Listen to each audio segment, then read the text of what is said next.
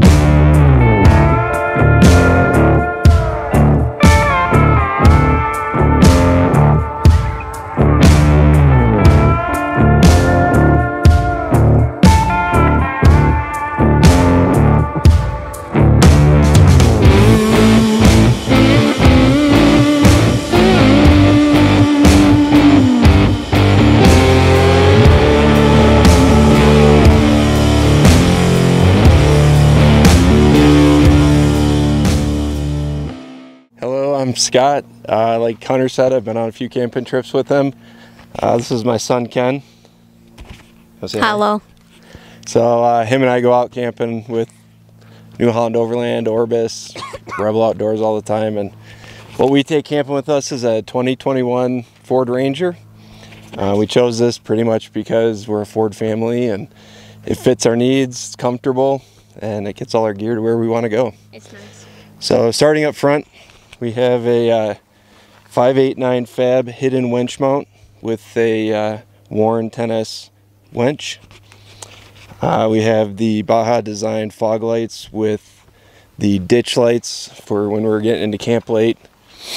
Uh, it is the Tremor edition, so it's got uh, factory suspension still, but uh, with that comes with uh, skid plates, Fox 2.0 shocks front and rear with reservoirs, as well as a one inch lift from the factory.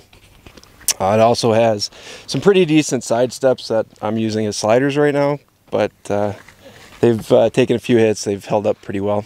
So uh, Graphic Gurus in Zeeland did the uh, did the wrap for this trip. Um, it's kind of based off of Orbis Overland's wrap, so we kind of had a theme for the expedition.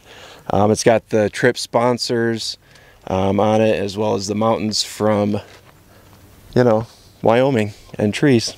So on the back of the rack, I have a New Holland Overland uh, mid-rise bed rack. Um, Jeremy over there designed the rack for me, and I went with that because I have seven-foot garage doors and I like to park inside.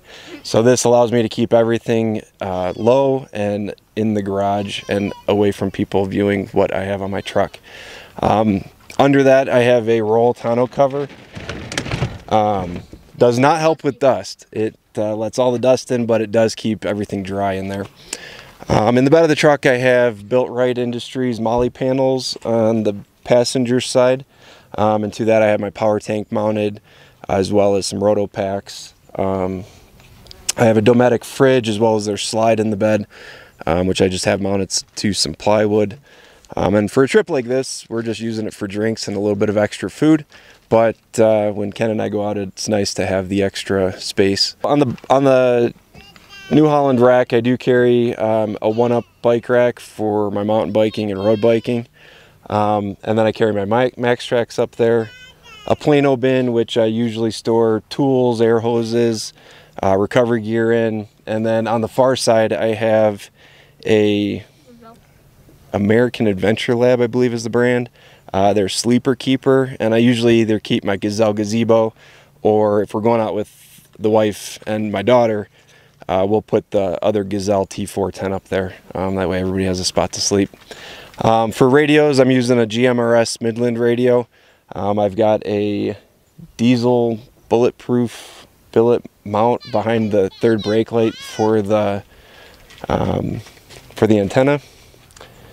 And that's pretty much it for the mods on the truck. Something new that Ken and I have been using uh, this year is the Vector Off-Road Armadillo trailer. um, because I do go out with a family of four at times, it is nice to have the extra capacity and uh, being able to carry everything we need for a family. Um, on this we have a Free Spirit um, Recreation Evolution tent. Um, it's a hard tent or a hard top tent so it sets up super easy. Um, I did upgrade the electronics in it so I put a Redarc Manager 30 so that'll handle solar charging, um, DC to DC charging as well as shoreline power. Um, I carry usually two water RotopaX on this, but due to this trip and the mileage, um, I've been running the gas RotopaX on this. Um, towing the trailer, the fuel capacity on the truck is about 18 gallons, so I've been getting the least amount of range out of everybody on this trip, so that's kind of been a little bit of a hindrance. Um, but continuing on with the tour. Oh yeah. So for a fridge on the trailer, I have a Dometic 95 liter dual zone fridge, which for this trip has been phenomenal. It's been holding all the food for the entire team. There's a lot of bread in here. Um, I've been doing most of the cooking, um, trying to handle that because I don't do a lot of the other stuff that the guys do with filming and such. So I've been trying to handle the cooking and helping out in that area. So this center part of the trailer is pretty much just straight up storage. Um, I'm using, I don't know, I think I got about eight Plano bins in there.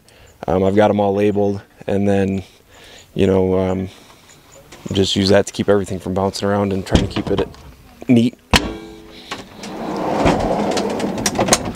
So if we come down to around to the back, this is where uh, the trailer really shines for cooking because it's got a full kitchen. I've got a Dometic two burner propane stove.